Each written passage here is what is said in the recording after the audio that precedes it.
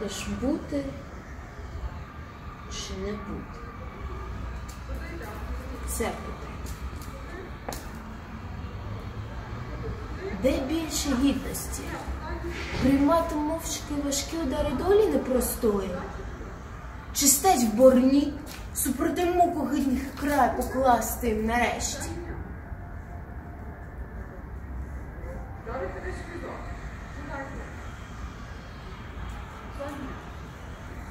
Вмерти, заснуть і не прокинуться. І знати, що скінчиться сердечний біль і тисяча турбот, які судили з тілом. Цей кінець бажати для себе може кожен. Та померти. То заснути. Чи може бачити сновидіння? Припина, мабуть, в тому, що приснитись не можу у смертельнім сні, коли вантаженої суети не скине. Єдине це і спонукає, зносить всі біди й гори довгого життя.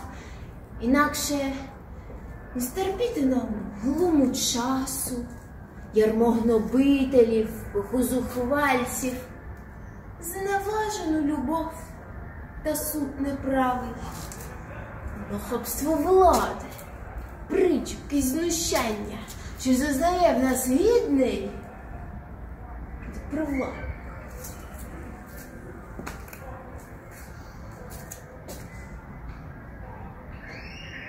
Хто б це терпів, якщо б кінжалу усе покінчив? Хто би став потіти, згинаючись під тягарем життєвим? Якби не острах, що з незнаним чимось і в цій незвіданій країні, звідки не вертався ще жоден подорожній.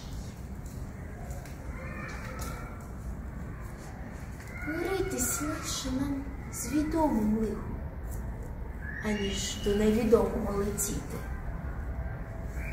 Так розум полохливим і нас робить, рішучістю з природженим рум'янцем, блідими барвами вкриває думка. А наміри високі, народившись, вмирають, так і не втілившись у дію. Офелія, в своїй молитві, німфо, згадай свої гріхи, не забувай.